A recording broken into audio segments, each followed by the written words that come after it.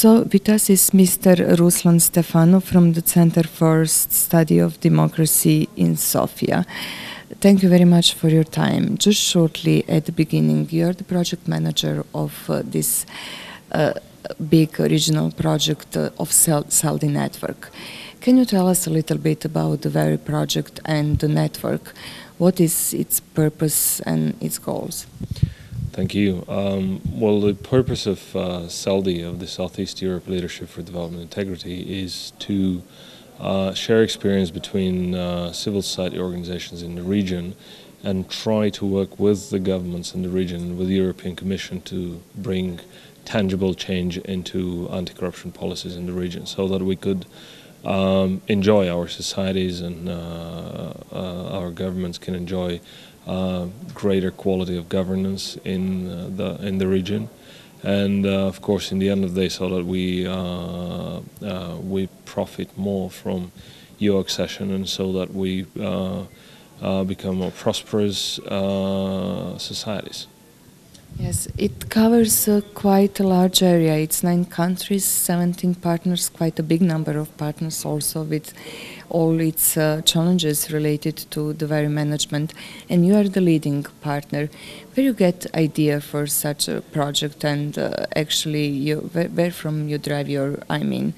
experience related to the ways that uh, things should be tackled? Well, we have been one of the early pioneers into that area. Even before the EU Commission has started monitoring corruption in, in Bulgaria, we did that in 97, 98. Um, and uh, we've done also one of the first regional uh, projects on monitoring anti-corruption in the year 2000, 2001, which was then financed by the USAID. Uh, so in that relation, we feel uh, we have learned uh, something that we want to share, and of course we have gathered experience that will allow us to work with uh, other partners. And I have to say that um, 10 years ago it would have been much more difficult to actually work with 17 partners in that region. But now, uh, as you could uh, probably see from today's presentations, um, there are partners that are um, uh, very well into that topic, very deep into that topic, and uh, they also have uh, so good management co cooperation capacity that will, of course, uh, uh, help us and we'll work together. And the PSD, in, uh, which is our Croatian partner, is, of course one of them. That's why is also we're doing this in the first place here. And your long experience in monitoring corruption practices in Bulgaria gives you quite an overview of how the corruption status developed in, in recent years. Your status, I mean status of membership in European Union, is it uh, helpful for a status of uh, corruption in Bulgaria and how does it look like currently? Uh, both yes and no. Uh, entering the EU, uh, is, especially in the first year, has led to a decrease in the anti-corruption policy intensity in, in, in, Bulgaria, and I think all over in all new member states. but being part of the EU overall helps drive forward reforms in different areas that in the end of the day, like liberalization of markets, that in the end of the day helps uh, promote more transparency and helps uh, fight corruption. Uh, now, it's a, uh, there is there has not been any quantitative uh, data to show whether Bulgaria has actually improved or, or, made worse off. But our data that's on on corruption victimization shows that actually um, entering the EU has been a big uh, push forward for uh, reducing corruption among the businesses, and that in five years later, we've actually seen at least no deterioration in the rate of corruption, uh, and in certain cases, there's been an improvement. There's been a tremendous improvement in customs uh, procedures, in uh, police professionalism. So these are the areas that, of, of course, help. On the other hand side, uh, it makes it more difficult for um, civil society to pressure the government because uh, it already is on the table in the EU. Uh, but of course, they also have peer pressure from other member states because uh, although uh, there is a, they talk politically between themselves, in the end of the day, it's always very embarrassing if you are seen as a corrupt and non-performing country. And uh, maybe just shortly related to how this project would reflect on the other uh, countries that are participating. I mean, those are the countries with different status related to EU and uh, related reforms. Uh, how you see that it would, what would be the main uh, points related to Croatia and maybe some other neighboring countries? I think the, the main issues is that uh, no country is immune and that corruption is not really something that you fight for two years and then it's gone.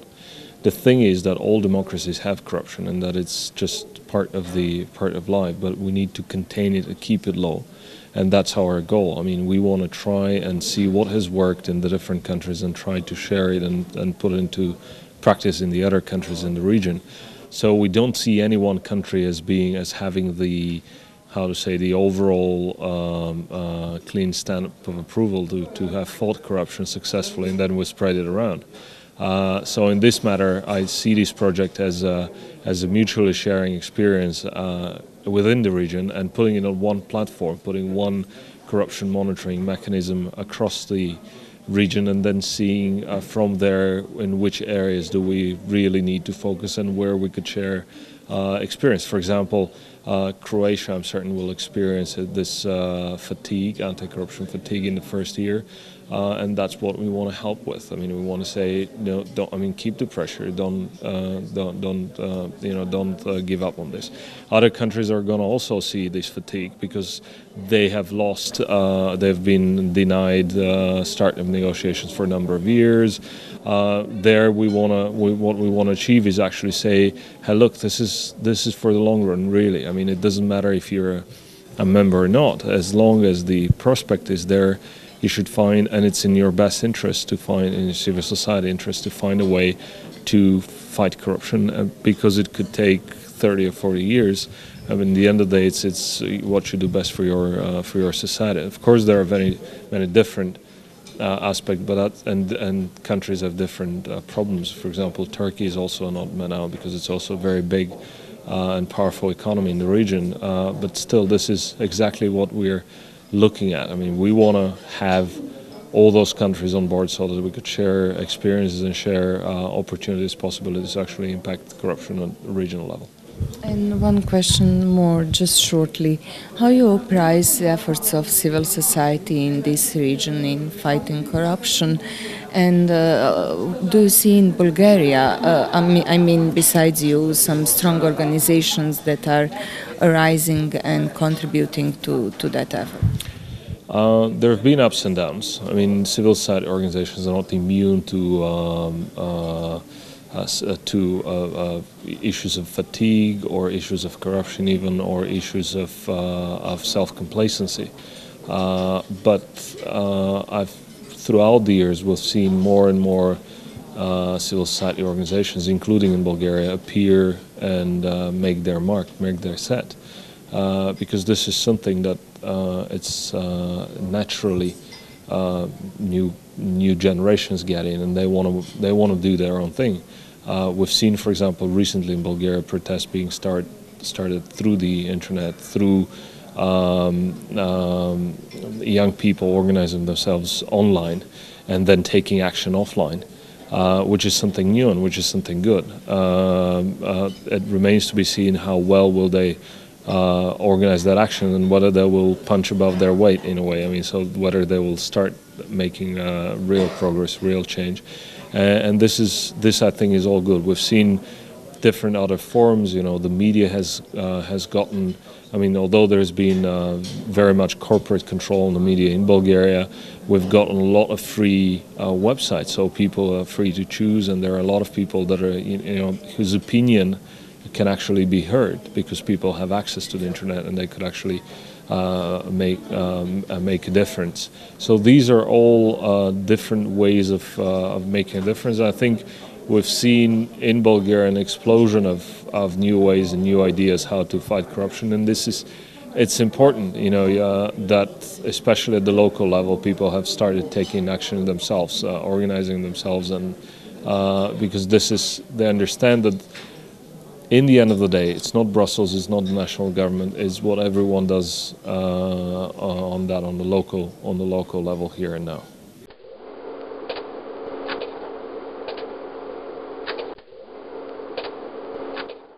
Što se tiče uh, napora crnogorskih uh, u borbi protiv korupcije, sve što se do sada postiglo je u pravcu regulisanja regulatornog okvira i u tom smjeru dosta se postiglo tokom 2011. i 2012. godine od kada je borba protiv korupcije bila jedan od sedam ključnih prioriteta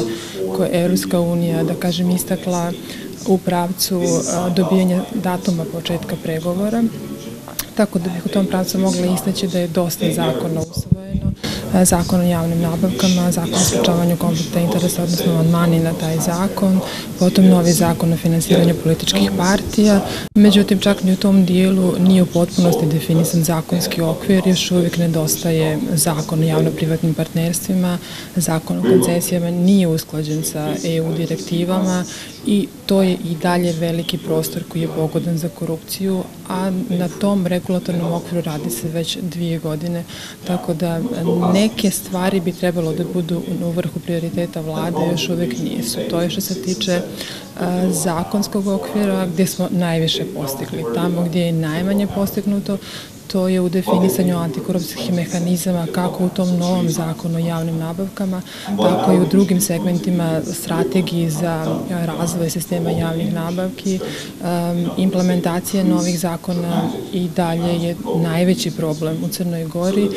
takođe i kontrola implementacije tih zakona, tako da u tom segmentu zaista se malo postiglo i iako imamo određeni napredak u zakonskom okviru, nemamo nikakav napredak u implementaciji implementaciji tog zakonodavstva, tako da je korupcija još uvek sve prisutna i još uvek jedan od glavnih problema u napretku ka punoj integraciji Europsku uniju. Možda samo našim gledateljima i gledateljicama da pojasnite što znači izostanak jasne kriterije, antikorupcijske kriterije recimo u zakonu o javnim nabavama. Što se propustilo urediti točno? Pa propušteno je, kada konkretno govorimo na primjer o strategiji javnih nabavki, uopšte nema neke funkcionalne analize šta je do sada urađeno u borbi protiv korupcije i na koji način će se dalje boriti u pravcu jačanja samog sistema kontrole. Sistem kontrole je slab u Crnoj Gori, parlament je potpuno izuzet iz te kontrole i u samom, znači parlamentu bavi, pa, parlament se samo bavi zakonom, e, to je bilo 2011 godine i od tada parlament nema mehanizme čak ni da isprati preporuke koje je podržao državne revizorske institucije o kršenju procedura javnih nabavki i u tom segmentu zaista i Evropska komisija potencijira izveštajima u napretku da je sistem javnih nabavki bez kontrole. Zakon je postigao određen napredak u smislu regulisanja procedura i veće transparentnosti portal javnih nabavki koji je dostupan, gde su dostupni kompletni ugovori ugovori, ali sam zakon je naišao na poteškoće u implementaciji što se tiče nekih tehničkih detalja i što se tiče samih tih antikorupcijskih mehanizama uh, kojima treba posvetiti više pažnje. Uh, to će se naći uh, na agendi vlade do kraja godine zbog toga što je trenutno u Crnoj Gori priprema za otvaranje pregovora u poglavlju pet javne nabavke u smislu da je završen eksplanatorni bilateralni skrining u Briselu, da sad Crna Gora očekuje skrining report i radeće se na akcijnim planovima kako bi se zakon do kraja usaglasio sa EU direktivama. U procesu pregovora Crne Gore sa Evropskom unijom za članstvo dogodila se jedna stvar koja je različita od pregovora u Hrvatskoj. Poglavlja koja su najosjetljivije, dakle poglavlje 23 pravosuđa i ljudska prava i poglavlje 24, će biti u stvari otvorena na samom početku pregovora kako bi se obratila pojačana pažnja upravo tijekom tih pregovora i na implementaciji određenih mjera koje će se kroz ta poglavlja u stvari uvesti. Kako kroz to? Danas ste imali kratko izlaganje vezano uz utjece Evropske unije općenito na status korupcije. Kako vidite da će taj proces izgledati u Crnoj Gori i hoće li donijeti unapređenje? Ono što su se pokazali kao glavni problemi u zemljama koje su do sada pregovarale već se pokazuje i u Crnoj Gori. Bez obzira što Eto, um, reklo bi se da je to dobar pristup, da ovaj drugačiji pristup, zbog toga što se pokazao kao pogrešan u slučaju Hrvatske, u slučaju Bugarske, da je na samom kraju krenuto sa tim najtežim poglavljima, pa i samo Evropskoj uniji ostalo malo vremena uh, da vrši monitoring nad implementacijom tog zakonodavstva. Uh, u Crnoj Gori, uh, pored tog problema implementacije, postoji problem sa procesuiranjem slučajeva, posebno slučajeva korupcije na visokom nivou i ja vidim to kao još jednu od poteškoća i tu vidim ključan doprinos Brisela i Evropske unije da vrše pritisak na vlast i na one koje usmjeravaju i koordiniraju sam proces pregovora, da se ti slučajevi procesuiraju, da se pokaže stvaran napredak u borbi protiv korupcije, jer možemo mi postignuti i implementaciju zakonodavstva, ali ako oni stari slučajevi ostaju zataškane, onda nismo ništa uradili u toj borbi i mislim da ta takva praksa, da kažem, procesuiranje svih slučajeva mora biti um, dominantna i konstantna tokom cijelog procesa pregovora. Mislim da je taj pristup dobar, ali ipak i opet se i dalje vraćamo na tu, tu političku volju koja u Crnoj Gori mora prvo biti postignuta, pa onda ići dalje u reforme.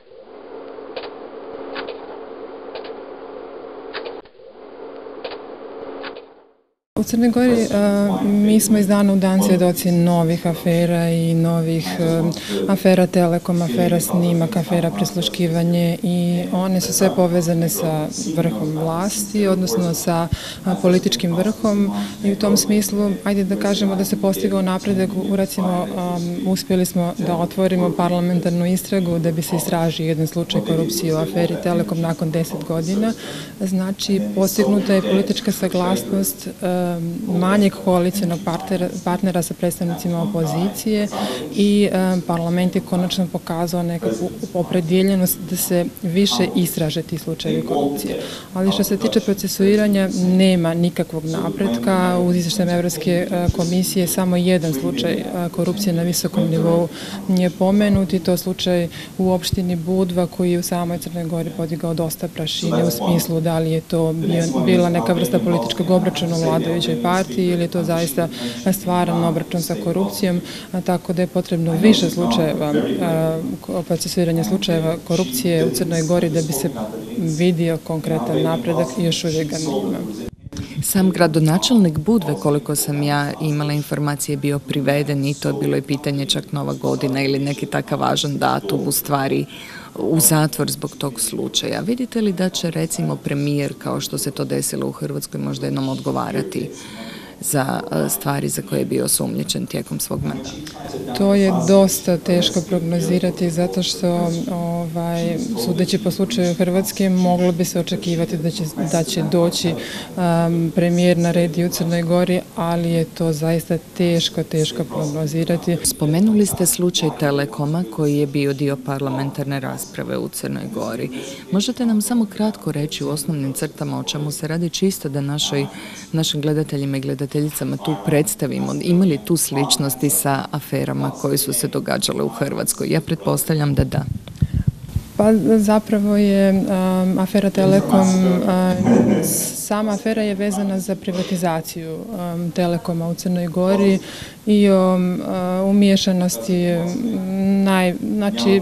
ajde da kažemo, najbližih srodnika premijera i u tom smislu se onda ovaj, sama parlamentarna istraga je ostala dosta uskraćena zbog nedostataka u zakonu u parlamentarnoj istrazi i o nepostojanje kaznenih odredbi za neodazivanje na poziv da se svjedoči pred anketnim odborom i onda moramo opet, kao što sam rekla na početku, konstatovati napredak u zakonskom okviru, koji dalje ima određene da se ne bi došlo do konkretnih rezultata u samoj istrazi. Tako da sličnosti naravno ima i mi smo svi opterećeni istim problemima, ali još uvijek nemamo rešenja za njih. Tko je prvi u, u crnogorskoj javnosti u stvari iznosio sumnje vezano uz koruptivne prakse u javnost? Je li to bilo civilno društvo, mediji i tko? Pa mediji su uglavnom izlazili sa um, podacima do kojih su dolazili i onda je civilno društvo stalo, odnosno dalo svoj stav i dalo svoje mišljenje u odnosu na te um, bombastične priče koje su se pojavljivale u medijima, tako da bi se moglo reći da su mediji, civilno društvo i opozicija zajedničkim naporima potencirali da se mora a, krenuti u rasvjetljavanje tih slučajeva. Tako da čini mi se da u Crnoj Gori postoji ta struja koja stalno potencira da se koruptivne radnje, odnosno um, oni slučajevi koji imaju elemente koruptivnih radnji moraju istražiti i u tom segmentu postoji čvrsta, um, čvrsta opredjeljenost na strani civilnog društva, opozicije i medija, ali još uvek nema nikakve reakcije uh, od strane vladajuće koalicije.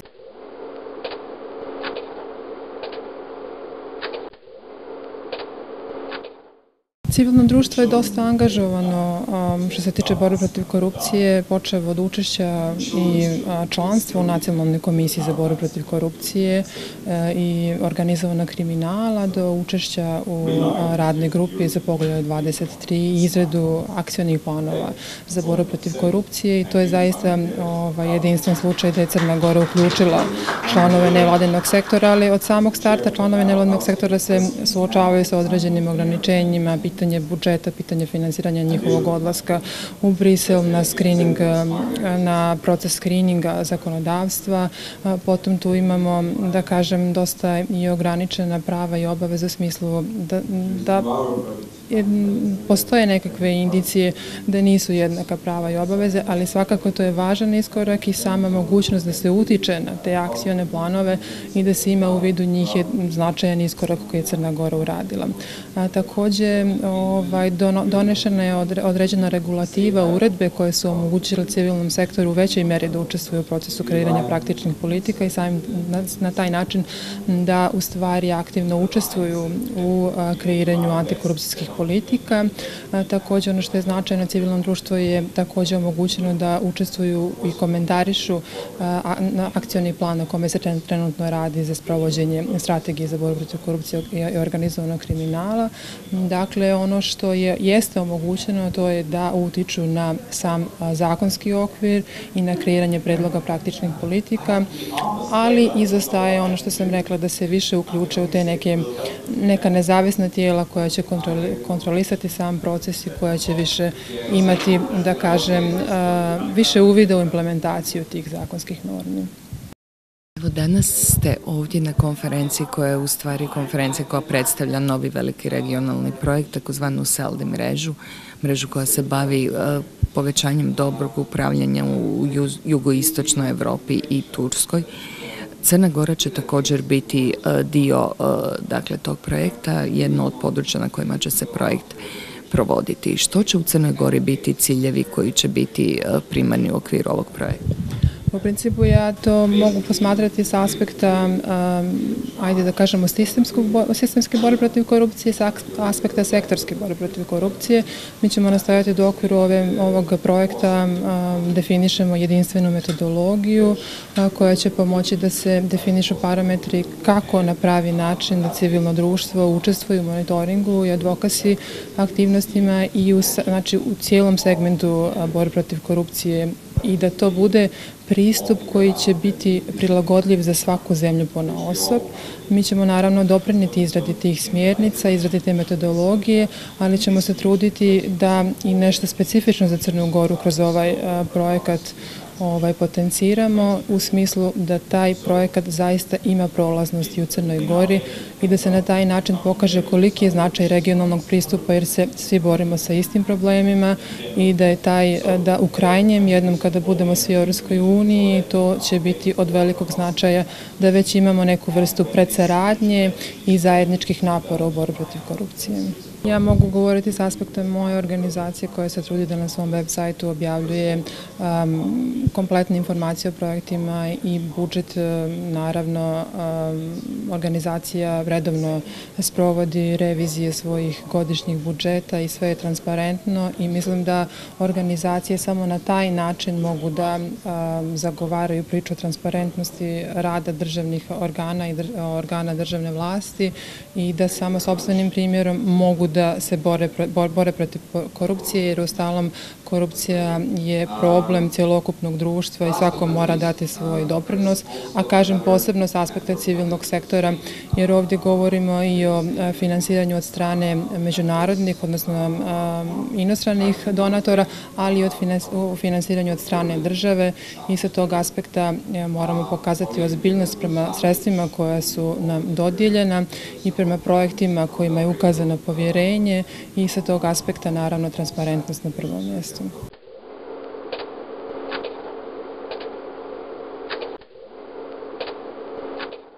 Makedonski centar za međunarodnu suradnju je partner na velikom e, projektu, regionalnom projektu za povećanje dobrog upravljanja u jugoistočnoj Europi i Turskoj, takozvanoj e, partner u takozvanoj SELDI mreži. Što je točno uloga u stvari tog projekta i na kakav način će se ona reflektirati na Makedoniju? Što će biti vaši osnovni zadaci u Makedoniji? Pa MCS je jedan od tri partnera iz Makedonije koji su uključeni u ovo, što će biti izazov sam za, po sebi, pošto naša prethodna iskustva sa ovim partnerstvima je da što više partnera to teže ili kompliciranije da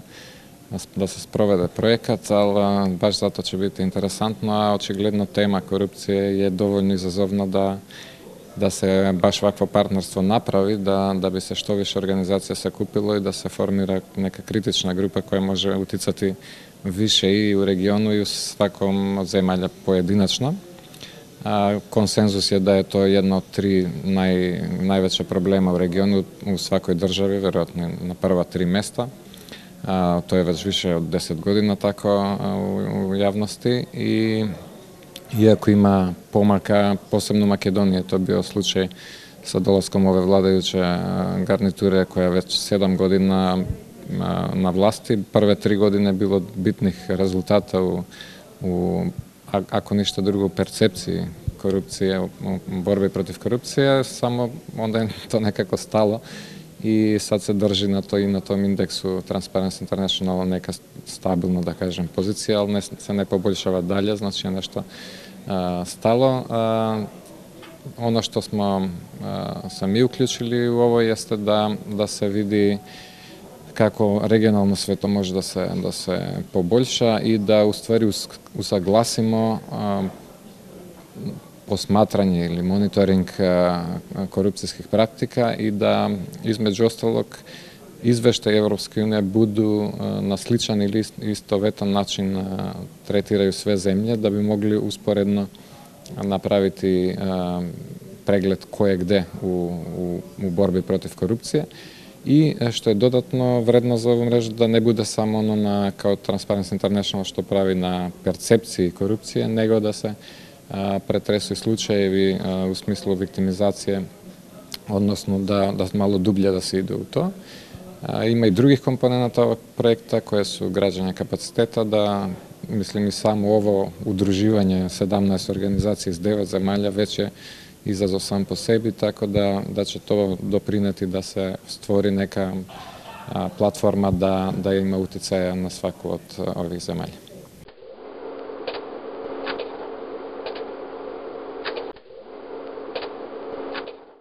Kad dođe na, na vlasti svaka vlast nešto bitno uradi u prvi, prvih nekoliko godina, onda taj entuzijazam polako splasno verovatno i onda e, bilo je dosta, dosta slučajeva koje su uticali na tu percepciju da se, da se promeni i hapšenja i na visokom i na, na nivou, da kažem, ovih naplatnih rampi na autoputevima, znači, e, tako da je to bio taj intenzivni period. Posle се мало посустало и у процесирање такви случаеви и у гањању нових, а веројатно со друга страна разлог за посустање е што све ове години нисмо почели преговори за членство Европска унија, што е био неки инсентив или нека нека да потице за и за владу и за нас како граѓани да се да се стварно а, то питање третира озбилније. А сад кад сме у тој лимбо ситуација да не почињаме преговори, некако ентузијазам опада и за борба против корупција и, на жалост веројатно логично со дужем траењем на власти има барем тенденција за, за коруптивно делување. Ја не би спекулирал во момент да е тоа тако или да, да се стварно такво дешава, али овај проекат измеѓу осталог ќе imati neka istraživanja i regionalno i u svakoj zemlji koja će potvrditi ili na neki način dokumentovati ili odraditi neke indikatore koje može, mogu reći kakvo je stanje u stvarnosti. Evo spominjemo stalno Evropsku uniju za sve naše zemlje, u stvari zemlje Zapadnog Balkana, procesi pregovora bi trebali biti ono neko reformsko vrijeme kada se zaista i tim problemima staje na kraj. Vidimo da se na neki način suprotno događa u Makedoniji zbog tog produljenja perioda čekanja na otvaranje samih pregovora. Vaša procjena, kakav je općenito utjecaj Europske unije na e, javni i ekonomski i u konačnici i socijalni svaki drugi život u Makedoniji danas? Pa bilo je, bio veliki, bio, bio je veći kako smo se više nadali ulasku u Evropsku uniju. Mislim da to malo posustaje i naše zadnje istraživanje pokazuje како се каже, смањење поддршка за Европска унија, тоа е још увек велика поддршка 66%, ал како знамо да е била 91, 87, така да види се мало разочарење и у јавности код нас, така да тоа е веројатно логична игра колико има осеќамо да добијаме од тога, толико е и поддршка веќе, сад са, пре, мислим да предуго чекаме тој фази без почињање преговора. Наше мишлење или утисак јавности да е тоа не, неоправдано дуго и надам се да ќе во ове години да тоа да, то да крене, што с друга страна па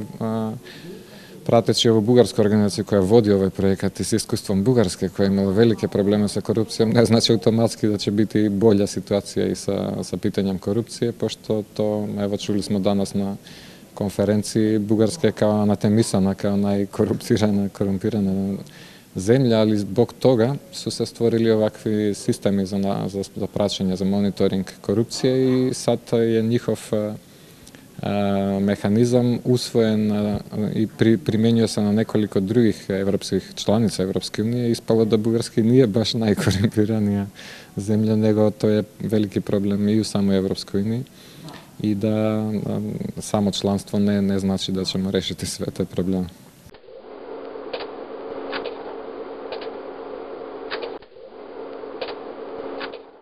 Оно што зашто сме се ми уклучили е